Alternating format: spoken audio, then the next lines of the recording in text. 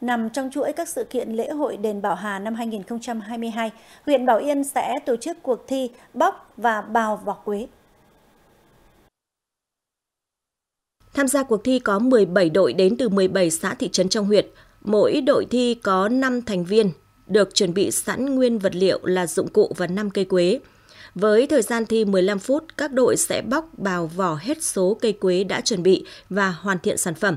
Đây là công việc quen thuộc của nông dân Bảo Yên vào mỗi vụ thu hoạch quế. Do vậy, phần thi của các đội diễn ra rất thành thục sôi nổi, thu hút đông đảo du khách nhân dân tham gia cổ vũ. Ban tổ chức chấm thi dựa trên số sản phẩm các đội hoàn thiện nhanh nhất, sớm nhất, có trọng lượng nhiều nhất, sản phẩm đẹp nhất. Giải thưởng sẽ được trao tại lễ bế mạc lễ hội đền Bảo Hà năm 2022 và tối ngày 14 tháng 8, tức ngày 17 tháng 7 âm lịch.